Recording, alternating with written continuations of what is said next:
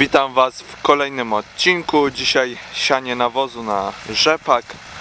Wczoraj był wysiewany korn kali w dawce 170 kg na hektar.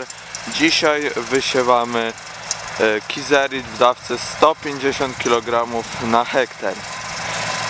Jeśli chcecie być na bieżąco z moimi filmami, zostawcie subskrypcję, a jeśli spodobał Wam się ten film, zostawcie łapkę w górę.